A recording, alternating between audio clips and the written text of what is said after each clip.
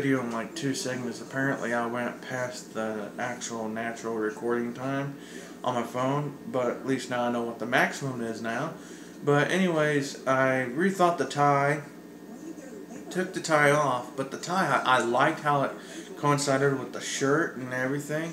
And see, I'm not too savvy about matching things, and I really love dress vests too, but I'm just so picky. And uh, one, one thing this Antonio guy stresses in his YouTube videos is I, I think it's him or maybe another guy. There's another guy that I can't remember his YouTube channel, but um, one of the guys, other guys I follow, he has a, uh, this Antonio has um, style has one of style tips from five real guys or something like that.